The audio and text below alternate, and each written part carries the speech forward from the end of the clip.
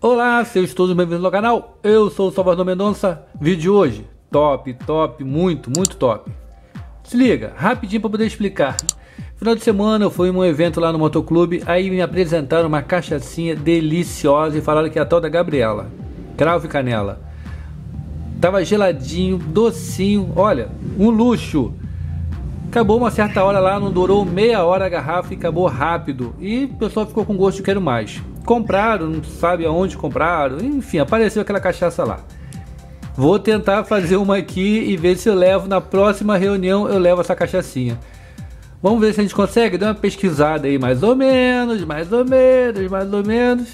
E eu acho que a gente consegue. Vamos fazer junto, ver se funciona? Então vamos embora. Então, para começar, eu vou o seguinte, eu vou fazer, começar pela cauda. Vou chamar de cauda, não sei qual é o nome, eu vou chamar primeiro pela cauda do negócio. E nessa cauda eu vou usar 300 ml de água. Essa aqui é uma água mineral, uma água bem realmente limpinha, então ó, um copinho de 200 e mais meio copinho de 200, ou seja, 300 mililitros de água, a água mais pura que eu consegui aqui. Agora eu vou adicionar o açúcar, mas antes eu tenho que pesar o açúcar primeiro, calma aí.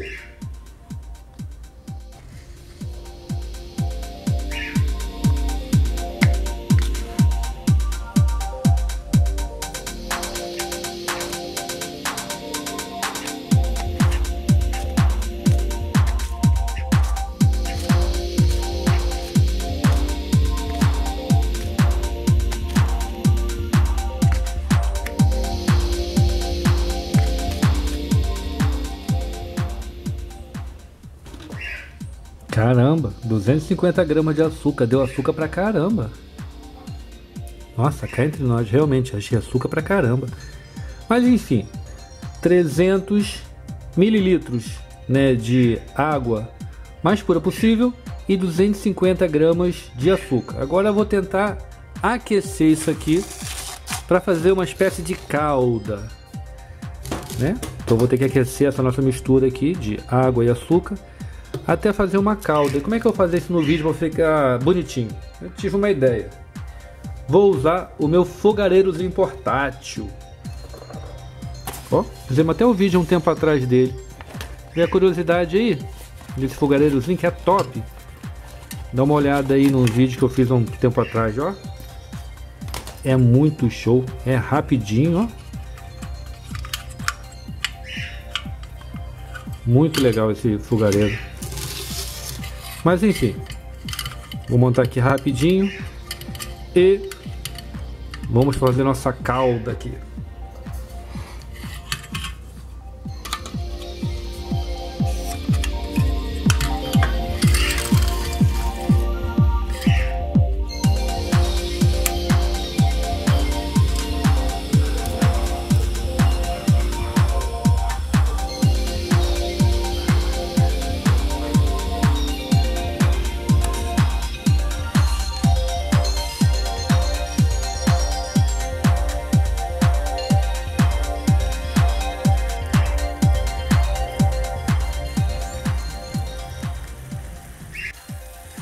Depois de mais ou menos 20 minutos aqui em fogo baixo, né? Não coloquei em fogo muito alto não. Você sente que a consistência mudou, ele está mais caudaloso, né? Tá mais durinho e começou a puxar fio. Olha lá, então começou a puxar fio agora, ó. Ó, viu? Então eu acho que já está no ponto. O cheiro é um cheiro muito gostoso, parece algodão doce. Eu também, lógico, Experimentei um pouquinho e é muito gostoso. Mas eu acho que já tá bom já. Eu vou puxar o fio, tá bem quentinho. Agora eu vou desligar e esperar esfriar. Nota de esclarecimento. Isso aqui foi açúcar que caiu, tá bom? Não! Tudo devidamente esclarecido.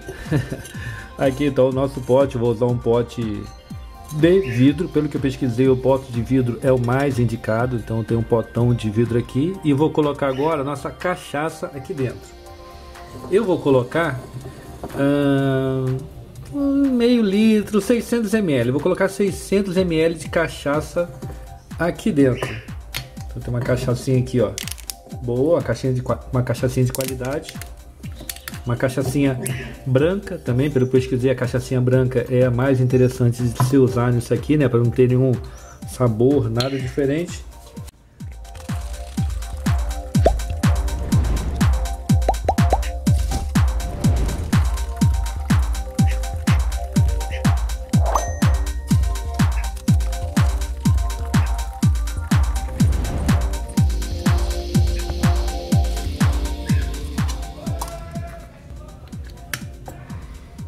Pronto, realmente parece que foi a metade do litro, né? Então, estava até aqui, então de repente, realmente entrou ali 600 ml. Então, cachaça colocada. Agora eu vou colocar aqui a nossa calda. Vou botar aqui para ver se a gente consegue pegar no vídeo legal.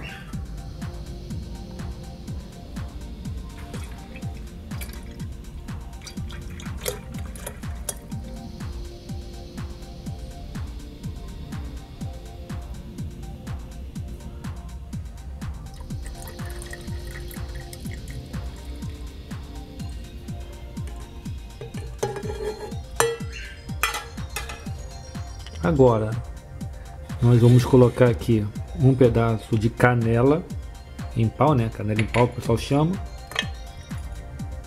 E por último, mas não menos importante, cravo.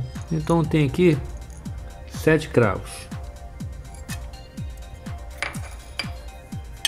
Vou mexer, vou mexer bastante para poder misturar a cachaça bem misturada com a nossa calda né, de açúcar.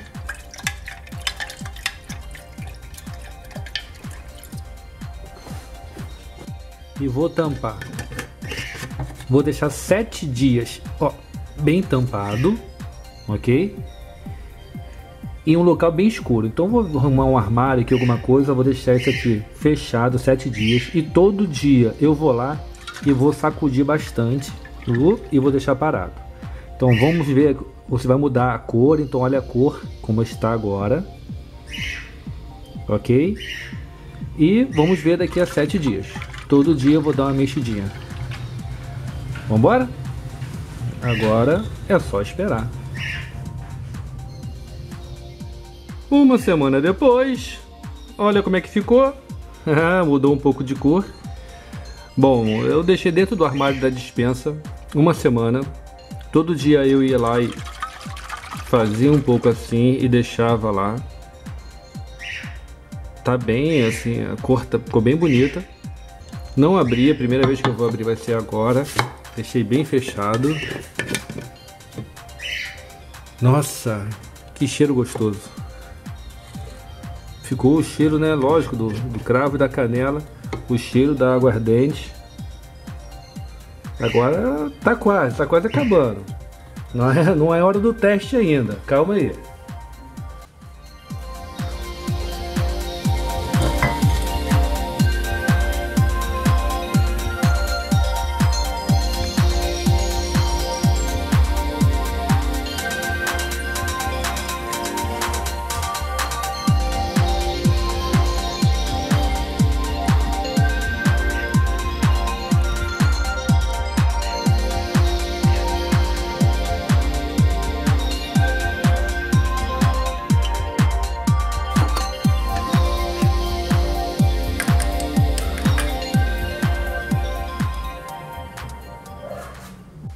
E aí está ela, nossa cachaça Gabriela Cravo e Canela. Ficou top. A única coisa que eu fiz agora por final foi colocar uma hora na freezer, né? Tem gente que gosta dela em temperatura ambiente, eu prefiro ela geladinha. Ok, então é questão de gosto. Ela ficou bem, ó, licorosa, tá vendo? A consistência dela não foi tão líquida, tá um pouquinho licorosa, tá muito bonita. O cheiro dela tá muito bom. Aquele cheirinho de canela, aquele cheirinho do cravo né, com a canela, mais evidente a canela. O gosto dela, eu tenho que falar para vocês que Cara, ficou perfeito, geladinho. É uma oportunidade para algumas pessoas até de uma renda extra.